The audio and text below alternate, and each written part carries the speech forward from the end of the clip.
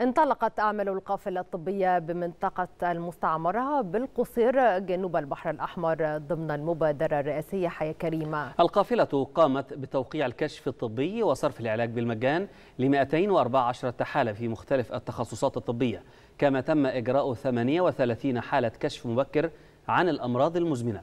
القافلة تضم مئات الأصناف من الأدوية والتي تصرف بالمجان وذلك لضمان وصول الخدمة الطبية لمستحقيها ولجميع أهالي قرى ومدن محافظة البحر الأحمر.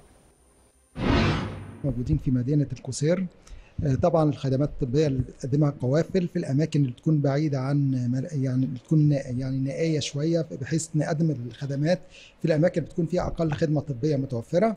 الخدمات الطبية المتوفرة في عيادة الجراحة من كشف وفحوصات وتحاليل كلها مجانية وعلاج طبعا. القافلة الطبية فيها كافة التخصصات مع معمل في كافة التحاليل ومجهز بكل الأدوات مع صيدلية فيها أكثر من 109 صنف تغطي كافة التخصصات الطبية متوفرة في القافلة الكشف والعلاج بالمجان. عندنا معمل الدم بنكشف على الحالات المترددة في القافلة.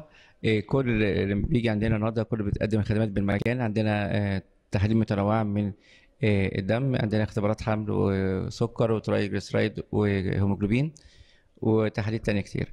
إحنا بقدر الإمكان بنحاول نعمل الكشف المبكر على الأنيميا خاصة الأطفال.